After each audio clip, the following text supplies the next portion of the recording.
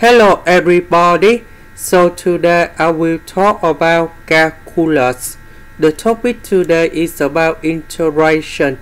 So now I will show you how to answer. We need to use about integration by parts. So we got about u equals to arctan of as so if we do first derivative for the both side, you got about du equals to 8 over 1 plus as everything to the power of 2 ds dv equals to ds so we got about v equals to s so we have u multiplied by v and that's about s multiplied by arctan as minus du multiplied by v. So you will go about the integration as over 1 plus as everything to the power of 2 ds now I will concentrate about this one only. So we need to use about integration by substitution. So I will put about u equals to this one.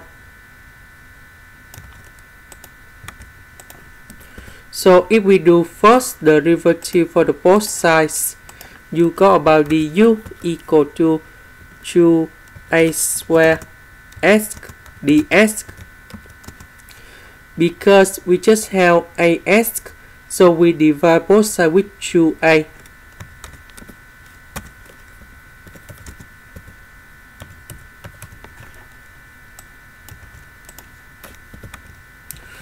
this one we change for u as ds we change for du over 2a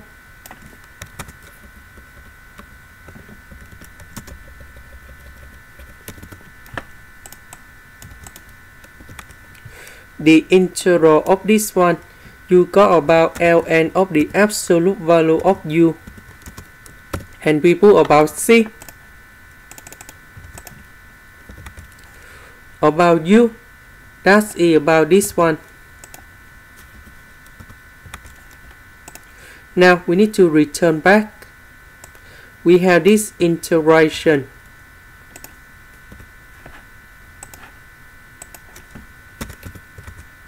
So we calculate about this one. That's a about this one.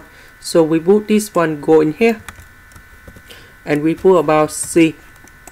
And this is the final answer. This is the end. Thank you for watching.